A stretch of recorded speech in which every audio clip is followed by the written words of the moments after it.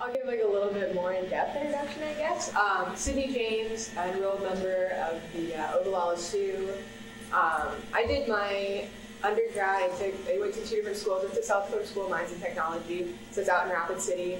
Um, and I was studying civil engineering out there. I was out there for three and a half years, and then I transferred to UNL, and then I finished up my bachelor's out here in civil engineering. I graduated in May, and then um, I was always going to go to law school, but Dr. Eilert was in my ear during the uh, the summer academy, uh, you know, a year ago, and uh, he's like, you know, if you go to MAPSE, we'll you know we'll pay for your master's. And so, you know, money talks. And so I, uh, I ended up, you know, so I'm now a master's student uh, with Mid America Transportation Center. That's why I get to do all this cool stuff with you guys all the time.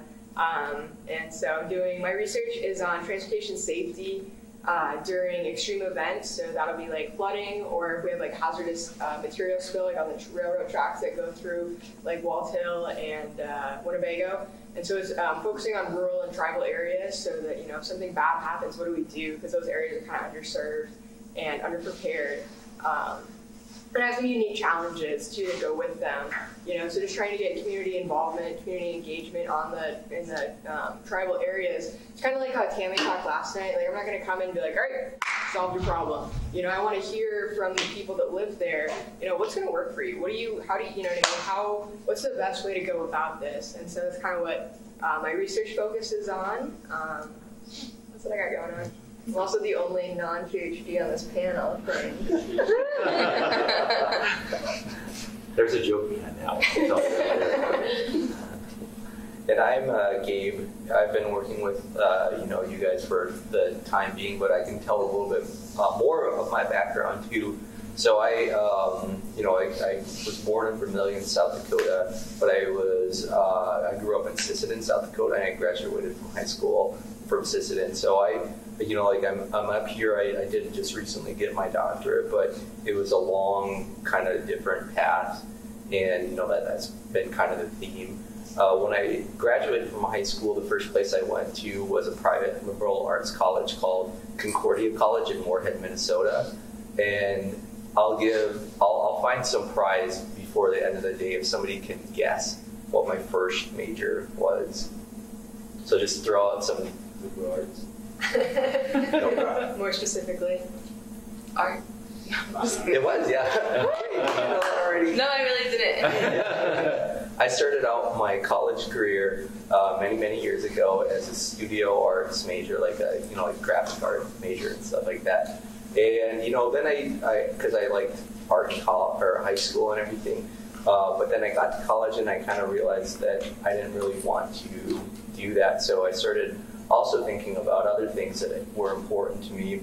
Um, and one of those is that um, my dad was a PhD in history.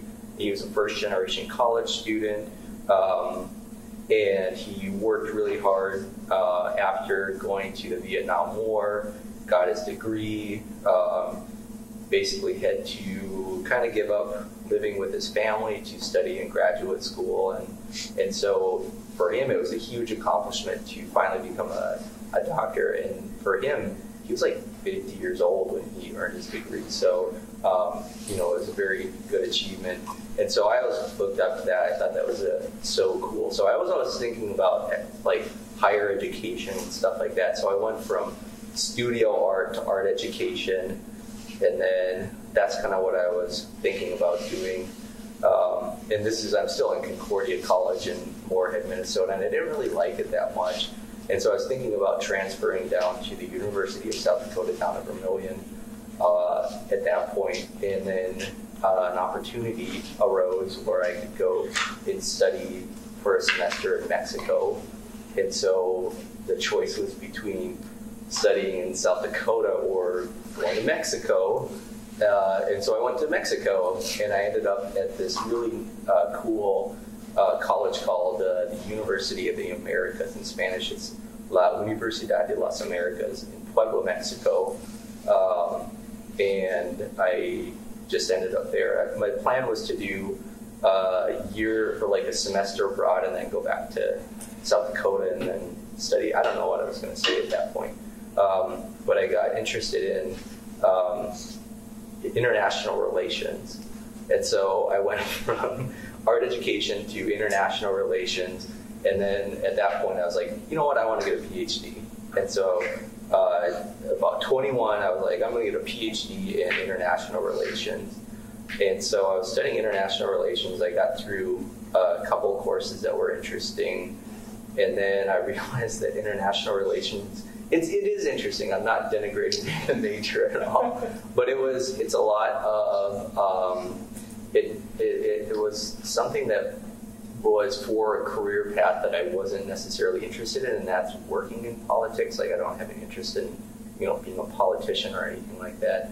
Um, and a lot of the people that study international relations are very political, and I'm not very political, and so I didn't really fit in there. But I did kind of find a niche in that I like international relations theory, and that's how I got introduced to philosophy. Is because I was reading an article in international relations theory one day in the library and then it was talking about philosophy, and so I started to look at the uh, bibliography that was on the article, and um, really interesting stuff. So I found those items in the library. I started reading them, and so midway uh, through the international relations degree, I was like, I want to study philosophy, but I finished out the degree in international relations.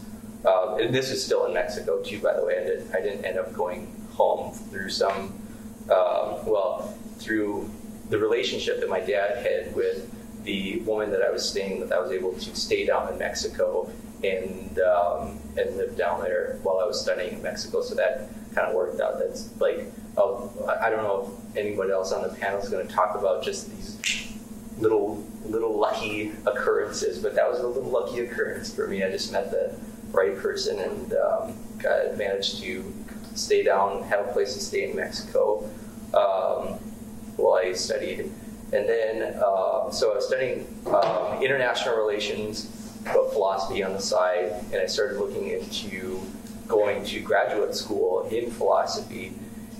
And I didn't really want to pursue graduate study in Mexico due to um, due to the sort of type of philosophy that uh, people down there were interested in. So my goal was a U.S. graduate program uh, in philosophy, um, and you don't. Graduate school in philosophy is very competitive. There are very few spots um, that are open for funded opportunities, and by funded opportunities, I mean like what Chris was talking about yesterday with uh, being a graduate teaching assistant and uh, having a um, tuition remission. So basically, they pay you to go to school, but maybe I don't know if you mentioned this, but they pay you and you like teach classes and, and you do or you assist professors and stuff like that. Yeah, it's diff- different in every discipline. It, yeah, it's different. And, in, and in philosophy, you like you actually work for the department. So I taught um, um, well, that's kind of jumping ahead in story. So, in order to get some of those funding spots, you actually have to have a degree in philosophy. So, the next step uh, from international relations to graduate school in philosophy was another undergraduate degree. So, I moved from Mexico, like Puebla, Mexico, way up to Moorhead, or no, Morris, Minnesota at this time, um, to the University of Minnesota Morris which is actually a great place that you should all look into because uh, Native Americans get tuition um, remission there. So, uh, you know, you still have to pay for room and board, but again, if you qualify for a Pell Grant, you can get Pell, you can get work study. There's ways to address the costs that are associated. But I mean, it's living in Morris, Minnesota. You can rent a place. I rented a place because it was uh, income adjusted for $25 a month. So it's very cheap to live there, and you get your tuition paid for, and it's a University of Minnesota degree. So that's my plug for UM Morris.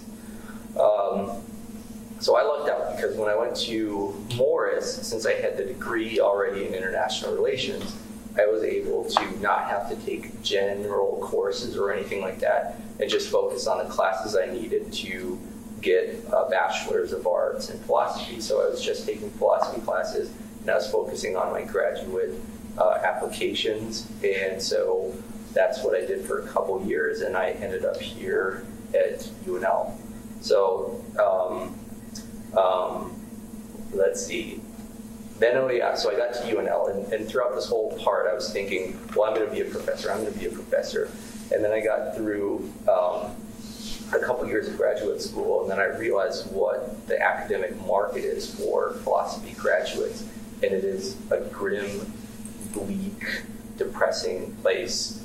There are, in the United States, every year, uh, hundreds, I think, yeah, hundreds of graduates competing for like jobs in the teens. So there, there are very few jobs, but a lot of people um, competing for them.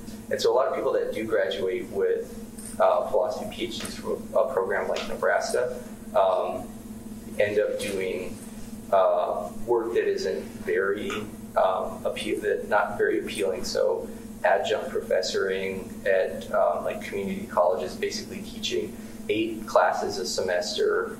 Uh, you don't have time for uh, personal life. You don't have time for your research.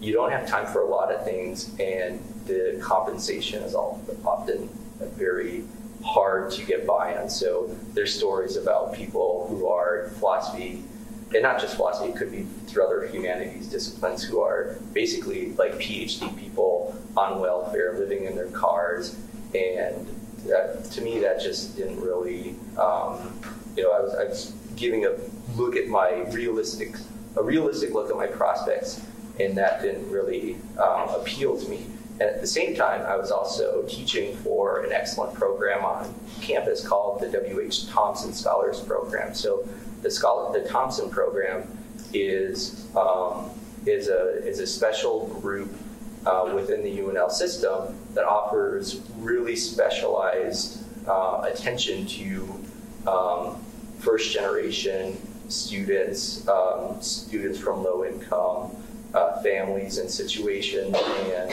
uh, and that. So there's smaller class sizes, and I learned about the program. So I, I realized at that point that I was more interested in doing uh, educational outreach, and so like. Um, I mentioned before about like chance occurrences. It was around that time that I met Judy Goshkovash, you know, that spoke to us the other night at the um, at Lazlo's, yeah. And um, you know, like Judy said, she said I didn't tell the whole story. That's correct. I didn't tell the whole story. She was she had met Larry, and Larry had mentioned the job, and then Judy said, "Well, I know this guy Gabe, so I was in." Um, boy, where was I? I, I was on vacation and I get this email from Judy, and she's like, "Hey, Gabe, I think you should really meet this uh, this guy Larry. Um, he might have a job opportunity available to you." And and so I was like, "Okay, cool, that sounds good." Because um, at that point, I was thinking, "Well, I don't know what I'm going to do." I was I was done with my coursework. I was just starting on my dissertation, and I just kind of had this um, like situation in front of me that was kind of, um, I don't know, it was less than encouraging. It was a little bleak at that point.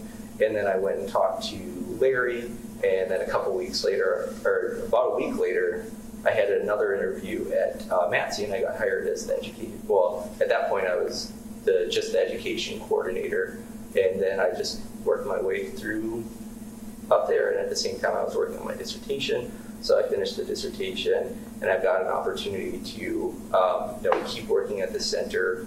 And we've grown the outreach programs that we do.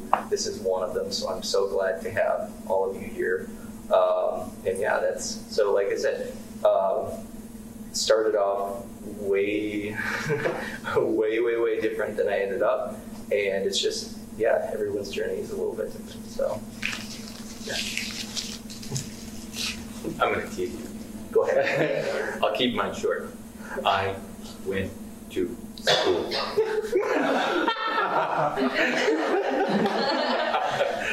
so my background is also untraditional in the sense I started junior college. It was a liberal arts school. I went through the army uh, to help pay for school, and then I went to Montana State University where I got a little bit braver. Then I went in industry, wanted to be wanted to do more. Actually, the thing that made me wanted to do more was I was working at 3M, and the things that I wanted to do everyone told me I couldn't do because I didn't have experience and I didn't have a PhD, which I'll now make a joke about. So there, I'll give you the clean version of the joke.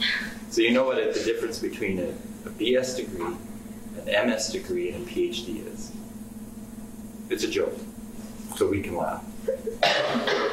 So when you finish your bachelor's of science degree, you will learn a lot. I guarantee it. Whatever discipline you choose, you will learn a lot, and you'll think, "Oh, I know a lot." And then you go to math, you get your master's, and you start learning the theory of what you just did. And then you realize, I don't know anything. Everything I learned were approximations of theory of some sort. So I really know nothing. Yeah. I am dumb. And then you get your PhD, and you realize, I don't know anything, but no one knows I don't know anything. so, as I said, I, you know, my transition has been through here, and you've heard a couple things that inspired me, which is I used to train people that were PhDs, and I tried to help them, and I really saw a difference in terms of, know, the people that came to me were Americans, they were domestic students, and the people that knew a lot were people from other countries, and I just did not understand how we as a country could send our people to the moon and then now they don't know anything. And so when I see us as a whole, right, the potential that you have, you have not been able to capitalize on it because I think of this like a diet, right? You've been starved, and what you're able to do, you've been given hamburgers all the time, or right, or just rice all the time. So your ability to do things has been limited by those who taught you and those that inspired you and those that tried to push you along a little bit further. And so there's not many of us that are there to be able to try to do that for you and push you. So my job is to be pushy. And I try to do that a little bit. Un poquito. I'll turn over to you. Well, to keep it this good, stay rolling. Let's go. Uh, Thank you. So my name is Regina Idoate. Um, I got to share with you all a bit about my academic journey. So I think I'll share some of those what uh, Gabe referred to as kind of chance occurrences or um, relatedness, I would say, in interesting ways that just evolve into paths, you know, that connect to something else. And then what sustained me on that. Um, and I would say, getting back to inspirations, that truly working with Native students is, is a huge inspiration to me. Um, and I would, so I would say it's the youth and then it's elders that inspire me as well, and my family and my ancestors, and learning about, you know, what what they've lived through and what they've learned and what they know and don't know. I know nothing, and that's inspiring to know nothing too, because you know then you're free to ask questions and, and keep asking questions, and that's very liberating, you know, to be able to be. I always I always feel like the kindergartner in the room, you know, and that's good because I'm still open to learning so much, and that's fun. Um, so you all know that I, I grew up. Um, well, I'm a citizen of Cherokee Nation, but I grew up in Southern California. My family moved out to California to follow uh, Will Rogers. Actually, they were close. It's my only claim to fame, but they were very close friends. Um, and so my great grandmother moved out um, to Santa Monica, but I grew up in San Diego. So my then my grandmother moved down to San Diego. Um, and I ended up going to school in Arizona. My parents were divorced, and I had lived with, grew up with my dad, and then moved to Arizona for a while, and um, got in the school system there. And they gave Regents scholarships to students that did well academically. So I had kind of like a full ride. It paid my tuition to go to ASU. So I had that option. Then I had lots of other options, you know, like the California school system or other schools that I was interested in. Um, but I chose the one that wasn't going to cost me money because I didn't have that.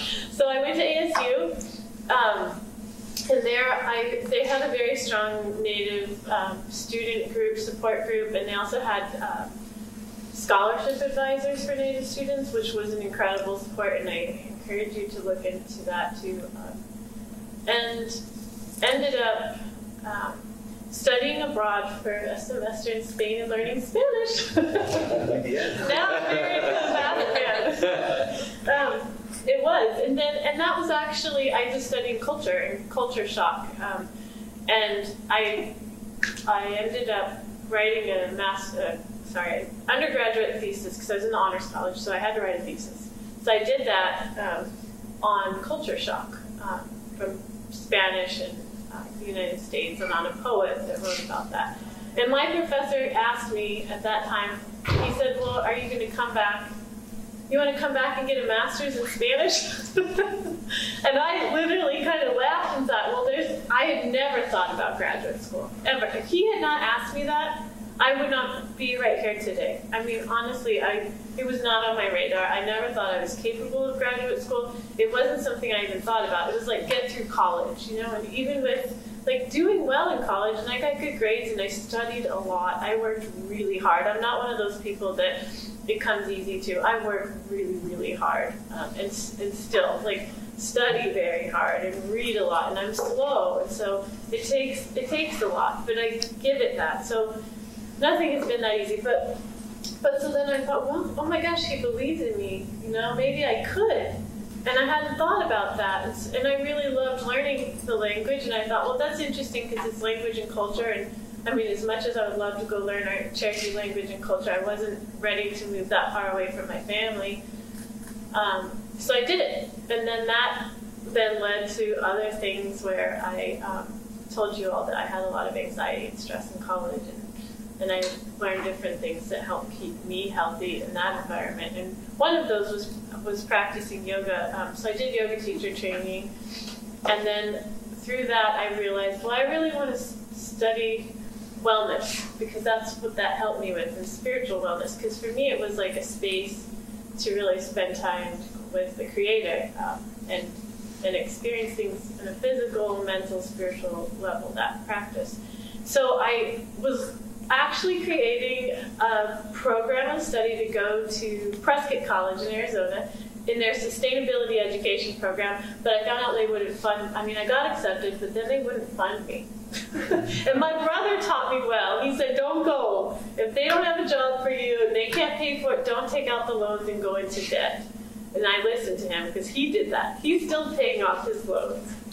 So I listened, and I thought, well, maybe I'll just, I was teaching school at the time I was teaching junior high. and I thought, well, there was this program that I was using a lot of their information from because at Prescott College you had to write your own courses. It was interesting. It was like a, a distance learning thing, and you had to choose your textbooks. So when you applied, you wrote your program of study, like what you were going to study. You made up your classes, you made up this, your textbooks and stuff. So while I was writing that, I was using resources from Creighton. I had never even heard of Creighton before. Nebraska was not on my radar at all. But I was like, well, they have all these classes I'm really interested in, and it was Christian spirituality classes. And they, they offered a lot of courses that I thought, well, you know what? If they're offering this, why don't I just go? So I looked into it and I ended up coming here for the summers. It was like I could teach all year and I could save up money to pay for that. And then I came to Omaha for the summer for three summers to do that master's in Christian spirituality. And while I was here in Omaha, well, here a little ways away, I was working in the community gardens and I met professors in public health. And that's how I ended up in public health because they were like, oh, how did you get here? And so I started telling them, and they said, oh, well, we have a program, you know, that you might be interested in if you want to do a PhD still.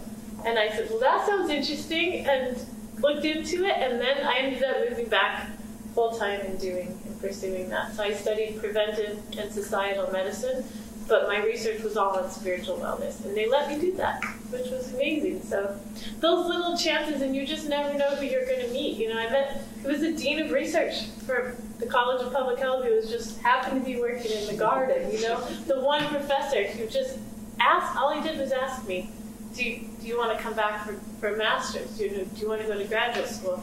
These things, you know, changed my life really. Um, and then I think that along the way, the things that I did to try to help sustain that came from from learning, you know, how to support myself too. So I had to.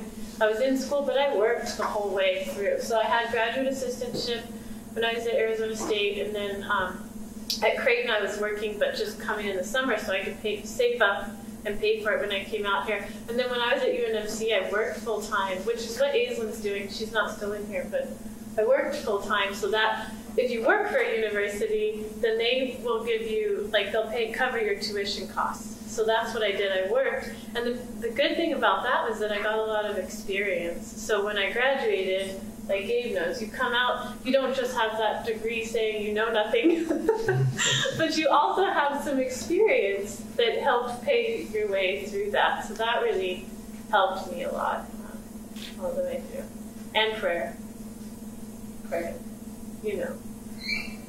So that's, that's those are my chance stories. Is it?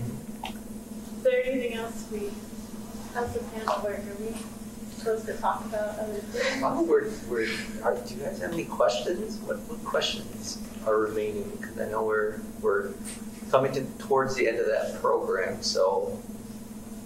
Uh, What did you guys learn from us?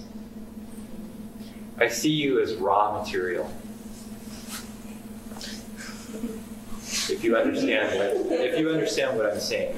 Yeah, I what you and the reason I say that is because, you know, this, I, I remember when I went to Eastern Montana College, and it was a liberal arts college, it was small, it was less than a thousand people, and it was comfortable to me to go there. Right? And I told you a little bit about myself in the sense that, you know, there was only two Native American families in the high school I went to, and if you looked at all the Native American families in the three public high schools that were in Billings, Montana, of 75,000 people, there was probably five of us. That was it. And you can imagine how difficult that was. I mean, when I was at Montana State, I remember enrolling. Um, well, first, I'll start Eastern. Um, when I was Eastern, I had two kids when I went there, and there was this one Native American woman that was in the help center, and she saw that I was interested in more than just um, going into Native American studies because that's where most people want to do because it's comfortable, right? It's history, it's important, right? But she saw that I was different. And so she saw something that I didn't see. And so she really tried to push me. And I was a very stubborn person that had opinions, even at that age. So, you know, I got married when I was 18 in high school. A kid when I was in high school. So there is no excuse that you can throw at me that I'm, I'm going to say that you can stand up and stand there and say that this is why I can't do it. There is none. You have two hands, you have two feet, you have two eyes, and you're here. So there is no excuse in my mind. So I lived through that, and somebody helped me. Somebody's always going to help you. You have to be willing to receive. So I did, and she talked me into doing something that was scary to me. She said, Go to Montana State University, they have this summer program, and it'll be good. They're doing science, and they're going to help you become a medical doctor. You know, this is where they wanted you to go. And I really wasn't interested in being a medical doctor. I thought about the time frame of doing that. I had two kids by then, and it's like, that's 12 years. I'm not going to waste no 12 years. It's like, that's a long, that's a lifetime. I can't do that. It's like going K through 12 again. I'm not doing that. right? It was insane. So, you know, they talked me into doing this. I went there and, you know, it, they found some housing for me. It was cheap. And, you know, it, they kind of put some things in place. The next thing I'm, I'm slicing wrap rings. Like, I don't care about wrap rings. I'm slicing this stuff with a microtome and floating it on glass slides so some graduate student can look at what happens to a rat if I put something on it and make it mad. It's like, okay, that's not exciting. I don't to see the science. But anyhow, that's what they were doing. And I was, I got good at slicing wrap ring. Anyhow, so when I was done, there was someone else that talked to me about applying for some scholarships. But first it was AISES. And then what I found was, next thing I know, it's like I kept getting not medical degree kind of medical school kind of type of scholarships were, were quite prevalent now, but it was it was always science, like Dow Chemical, engineering, something. It was like always science based, and the next thing I know, it's like, well, okay, I'm going to be a chemical engineer because I didn't know what else there was because growing up in Billings, Montana, we had three refineries and there were chemical engineers though there, and I knew that they made money. It's like I need money to help pay for my family, to take care of them, to help them, and I knew that was a degree. I didn't know what it was, and so I did that. And I remember my first experience when I went there. They wanted because it's all white. Everyone there was white.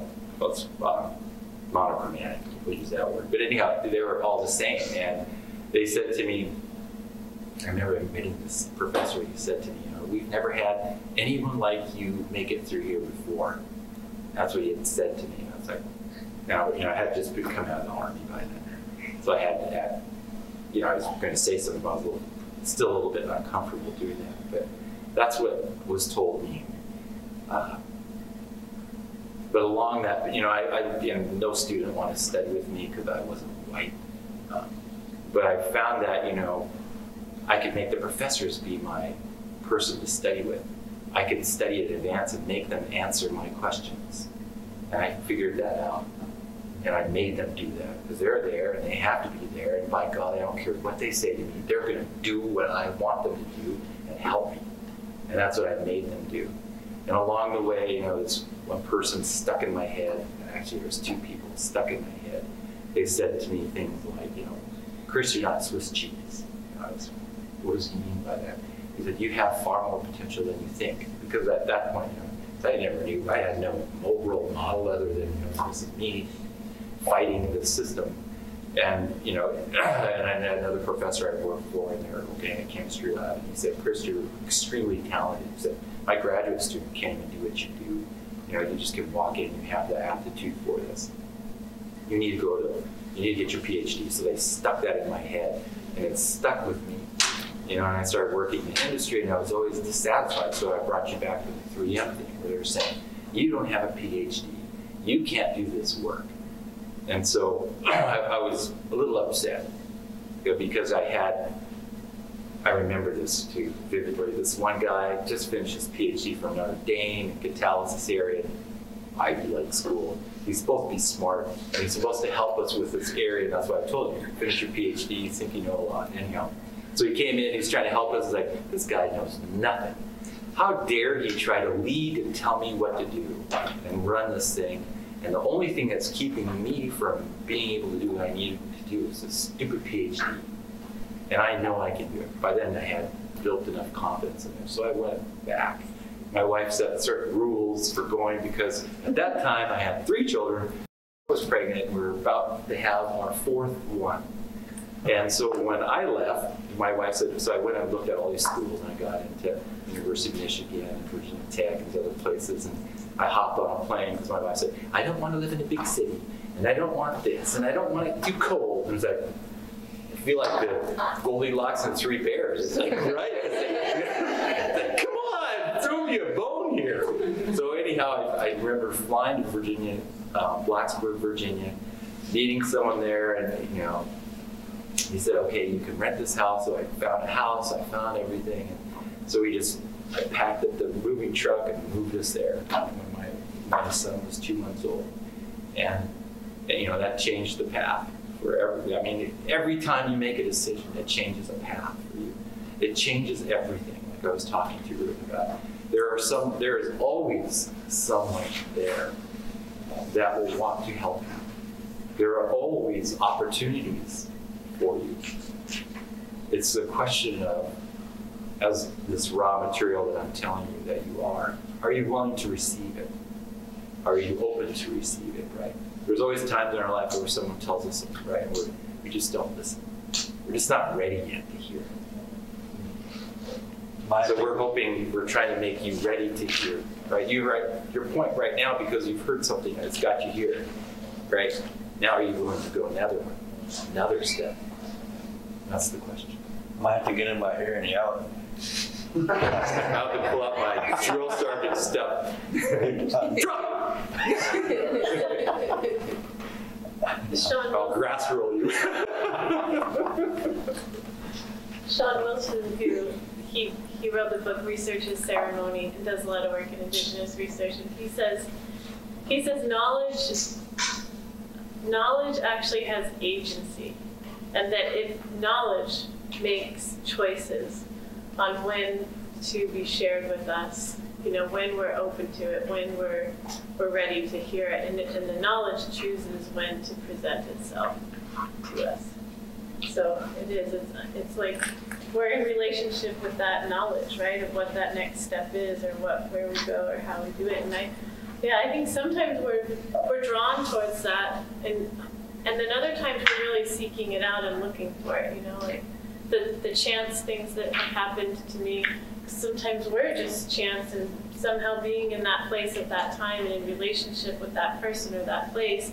Then there's other things I could think of, like I had an incredible, and she's still incre- I mean, I, ha- I have an incredible teacher. Her name is Dr. Michelle Desmarais. She's Métis and teaches in Native American Studies at UNO. And she served on my committee while I was at the Med Center. Um, but I took a ton of classes at UNO, and Na- I studied Native American Studies while I studied medical sciences at the same time because I was seeking that out. I wanted that, and so that was me going after that, right?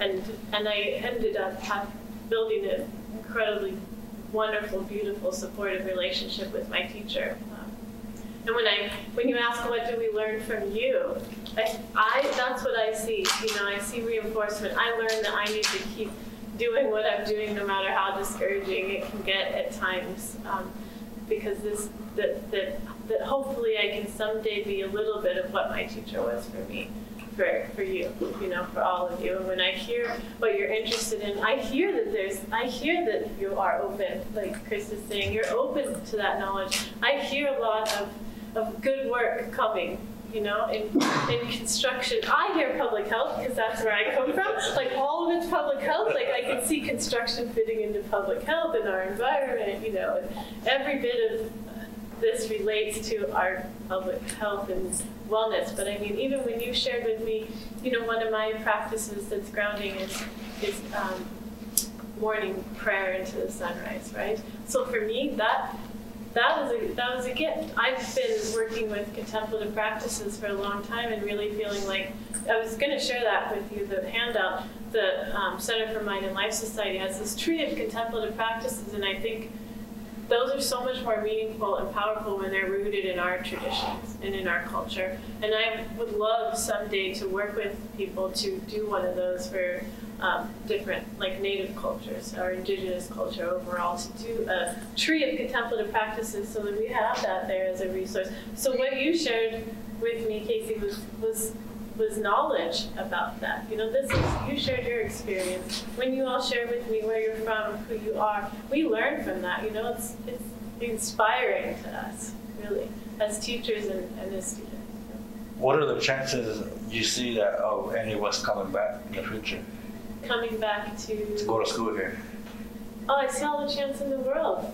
Uh, It's it's it's. But the question is, so it doesn't even have to be here, right? The question is, where where does it work for you, right? So just like maybe for someone else, you know, praying it praying into sunrise isn't there isn't the way that they do it, right? But what's the right fit for you? But but I see all of you looking for that, open to that, um, asking questions, hearing us, and and gathering more information to make those decisions about what's right for you. But I I can see a sense of belonging here for any one of you, definitely. I mean, you know people here now. well, the reason why I said that is because anything's possible. Did anyone ever see that movie, What About Bob? Yes. So I see you as baby steps. baby step out of the door. Baby step down the hall. Baby step all the way here. Right? For those that have not seen it, go see it because it's funny. It is funny. it's funny, right? Yeah, if I don't see you here next next fall, I'll be knocking on your door. I'm gonna talk to your mom and be like, what's going on? She at? See, that's why you're afraid because now you're accountable. no, it's a lot of fun to have support, right? I, I mean, I've seen quite a bit of change. Um, the fact that there's so many of you here now is a signal of that. Um, I used to serve on the engineering advisory board for Montana State, and I can tell you when I was there how many natives were there. And then when I came back and gave a talk to the AISES chapter, I was amazed. You know, there was at least 30 natives that were in STEM fields. Some, you know, they're doing that because they want to go to medical school, but that was just blew my mind. Like, how did that happen? That is amazing. So many people there. And before, there was three of us. Going, you know, order of magnitude change in the number of people there. Highly driven people. right? Realizing that they should, they also have potential, right? You you have potential. Those are questions you want to find. Yeah. You want to take that raw ore and process it, just show what it can become. You know, all of us, you know, you can talk to your parents, they say the same thing, right? My dad was in boarding school, right? suffered. We all suffered, right? It's just that we have an opportunity to use that suffering as a way of sharing, to build, to grow, to change and transform. Which is fun, right? You get the right to stand and speak, help others. I like It's a joy when you to see. smile. Hmm? I like you when you smile. Makes you feel good. It's a coffee.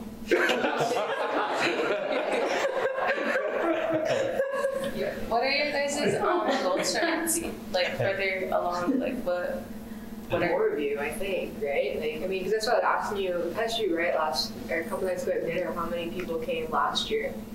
It sounds like they're about the same number, but like, if, you know, if we can get just like more, more people to come to UNL and more people, you know, to realize that, you know, there's, you, you can do this, you know what I mean? There's no reason you can't, like, you know, like the Summer Academy, um, I can't remember one of the kids that I was talking to, they're like, yeah, you know, um, I kind of thought before I'd just like get a job at the casino, but now I realize like, you know, I don't need to. I don't need to just go get a job at the casino because that's what my dad did or whatever. I can go to school and I can get off the res, or I can go to school and I come back to the res. I can come back to the res and you know help out. I can do bigger things than just you know because like, there's nothing wrong with working at the casino. You know, you make money, whatever. But it's like, is it fulfilling to you? Is it is that what you want to do forever? It, you know, what I mean, like kind of going back to Gabe's dissertation, right? Does it resonate with you? Does it give your life meaning? At the end of the day, you're like, wow, I am really enjoying what I'm doing. You know what I mean? Like for me, like engineering, solving those solving those puzzles, I can like, you know, come home and, you know, tell my family, be like, oh man, I had the best day, I figured it out. I did it. You know what I mean? Like I, I put the pieces together and I, I really feel good about my end product, you know? And so that's kind of the goal, I think, for us is to, you know, get you guys feeling that way. So you guys have these, you know, careers, whatever it's in, and, you know, it's something that you're doing for the rest of your life and you come home at the end of the day and you're like, I did it. I, you know, I really had a great day I really like felt good about what I was doing and I had a final product at the end that I want to share with people. And so just kind of like that pride in your work or, you know, I helped someone today. I helped someone today and they're going to have a better day. You know, I, I really mattered, you know, so, you know, that's kind of, I think, actually, you know, our goal, our goal is to just get as many, you know, native people feeling that way and just kind of break that cycle of, you know, ah, I'll, I just, you know, do nothing forever. I'll just, whatever, you know what I mean? And just like, I'll just be unhappy forever. You know, like we want, we want that. We want, we want good things for you and more of you, right? And so then you go back home and you say, oh man, I went to Lincoln and it was awesome. And so then, you know, next year your buddy comes or your nephew comes or, you know, whatever. And then they come and they experience it and they're like, wow, they were right. You know what I mean? There are more opportunities for me than what I see, you know, back home. And so just kind of making everyone realize like what you said, Casey, like I just didn't think it was possible. It's totally possible. Why wouldn't it be possible? You know what I mean? and yeah, and also I guess um, relaying to you guys all the support that's out there, kind of like what Chris said, you know, like there are no excuses because there are people that will come up for you. You know, they will like support you. They will like, all right, what do you need? Do you need help studying? You need help finding for housing? You need scholarship? What do you need? Tell me, and I know where to find it. I will tell you where to find it, so that you know together we can get you here, we can get you successful. Like you don't feel like you belong. Okay, here's the deal. We got AISES. We got you know we got Unite. We got people that are like you that are already here that you can learn from. That you can you know kind of have your little family here. Um, I mean that's that's how I got through my first three years at School of Mines. We had Tosh Bay. You know we had extended family And so it's all the Native Americans that are studying engineering at school, all engineering school. And so, oh man, I'm just really studying with, or I'm really struggling with calculus. Oh, I took calculus last year. What, what's up? What's your problem? You don't know how to derive? I'll teach you how to derive. And I'm really stu- I'm really struggling with, you know, statics. Oh, I took statics three years ago. Let me help you. Let me help. You know what I mean? Like that stuff's out there. And yeah, kind of like what was said, like asking for help and being willing to receive it. I guess those are kind of all our goals for you guys. It's just like we want to present it to you so it's in your head, it's in your ear, right? So that you know, like, oh, I I've been told how to handle this situation when I feel like this. You know? So there you go. There's uh, two people from Santee that graduated from here just recently. Oh yeah? Misty Thomas and uh, Tashina Denny. Yeah. Yeah. Yeah. And they're kind of like my relatives. So that's really inspiring, inspiring to me. Mm-hmm. How do you? How does it make you feel? Makes you feel like I can do it too. It's because they're really happy in the community. They do good things for the community. Mm-hmm. And now when I go back, I want to be more involved with them and ask them more questions. I mean, I already do, but yeah. But I want to ask more. But now you know how to ask different questions. Yeah. Yeah. Okay, so that's just two people that you know, there's plenty of others still. Yeah. There's Mary that's here, her documents, whatever, but we believe she got a doctor from here. Mary, um, the, was the dean at one time? Oh yeah. yeah. She got her doctorate here, I mean, Oh, yeah. even though Christine's not native, but she can talk to you about UNL, she got her doctorate here. Oh, wow. She, she speaks your, la- I mean, she even speaks the languages, she came to our school. Oh, Languages. I know what you're talking. Yeah. Yeah, so there's more people to do. I mean, it's, Yeah. it's growing, it's growing, you know, so. There are resources, you just have to be able to advocate for yourself and try and find. Yeah, so I would just add something for what, you know, Gabe's saying, you know, he shared a really um, good story about his life, right? Really, it was important talking about his path. And then you heard last night Tammy talking about, you know, her role and what she's been doing. And I, you know, I was listening to that and I thought, what we want is the same thing that she was saying. You know, when she was visiting with, you know, different um, Native people in their places and helped building buildings for them. She visited with her colleagues in architecture, you know, that were non-native. They said, "You just want to build so you have all the jobs." You know, that's what she was saying, all the work. And she said, "That's not why. What we want is is to be able to create a situation where you have a voice." And you can't have a voice unless you're in these roles here where now, instead of other people placing words and saying this is what you think, now you can actually have people that stop and reflect and then respond, right? In context to you and your community and what you need. So whatever these roles are, right? That's it.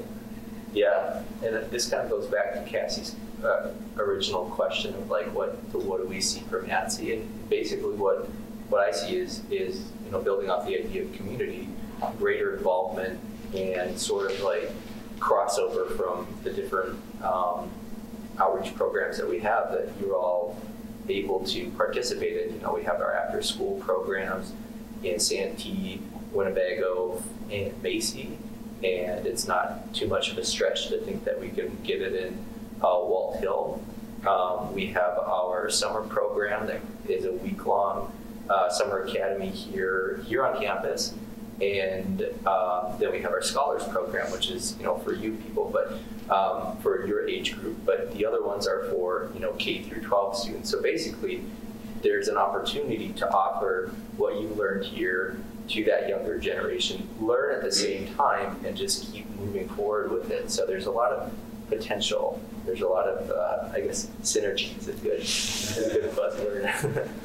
Eventually, some of you will be sitting at this table speaking with youth that are sitting out in the crowd and sharing your stories. That's, I mean, that's my hope.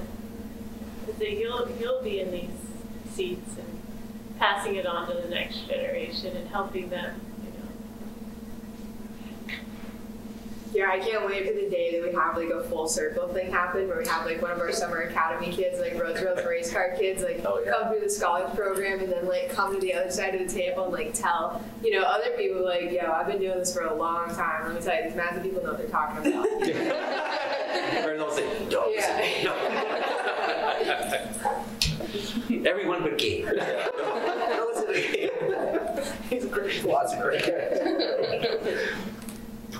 oh, that's fun. Um, that well, we are at time, so um, let's thank our speakers at Fields Wishes. Yeah.